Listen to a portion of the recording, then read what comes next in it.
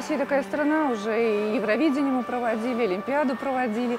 И как бы не было тяжело, но делаем все настолько помпезно, что, в общем-то, весь, весь мир просто открывает рот и шокируется, в общем-то, как у нас это все получается.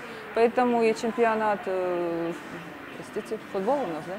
Ч- простите, чемпионат футбола, я, чемпионат мира по футболу, я считаю, что совершенно прекрасно у нас пройдет, и наше правительство постарается. Вот, и мы опять же сделаем это все на высшем уровне. И самое главное, что у нас столько патриотов, что есть люди, которые действительно это ждут. И, во-первых, здесь э, выгодная, с одной стороны, нет, понятно, что экономически это будут огромные затраты, это опять же э, колоссальные деньги, но в любом случае даже страшно представить, сколько сюда потянется болельщиков, да, сколько, опять же, это какой-то возврат денег. А, Опять же, если это произойдет, то будут вкладываться, я думаю, какие-то частные инвесторы, скорее помогать, э, как бы это не обязательно на государственные деньги.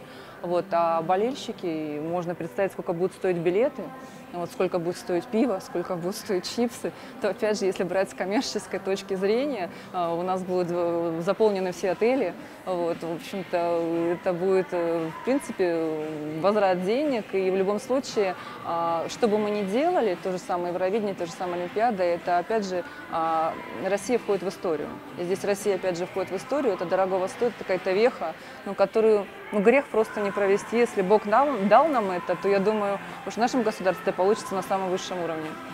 Мгм.